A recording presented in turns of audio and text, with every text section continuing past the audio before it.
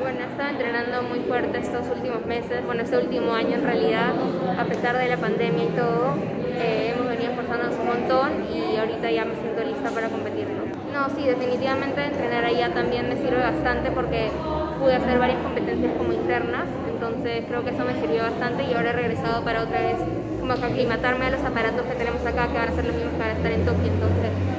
como que el tiempo se dio perfecto, ¿no? me puedo acostumbrar gimnasia como somos un montón de competidoras, nos reparten en cinco subdivisiones y a mí me tocó la subdivisión 3 y en esta subdivisión también está Estados Unidos, entonces voy a estar como que entrenando todos los días previos a la competencia con todo el equipo de Estados Unidos y el día de clasificación también. Voy a competir al mismo tiempo que ellos. Sí, voy a estar entrenando ahí con ella y compitiendo con ella, entonces sí, a mí también me emociona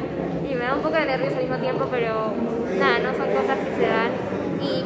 verdad en Río también me tocó estar con Estados Unidos, bueno, eh, creo que MIGA, porque creo que es en el aparato donde tengo ahorita mejor dificultad,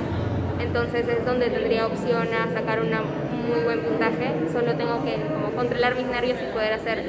competir como lo, como, o sea, competir la rutina que hago en este entrenamiento. Bar, piso, saltos también muy bien, he estado entrenando muy fuerte para mejorar mi nivel de dificultad en todos los aparatos y mi nivel de ejecución también, entonces espero que en todos los aparatos tenga mejor puntaje.